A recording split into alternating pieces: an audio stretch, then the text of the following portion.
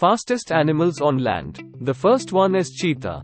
In the Animal Olympics, cheetahs would dominate the sprinter races.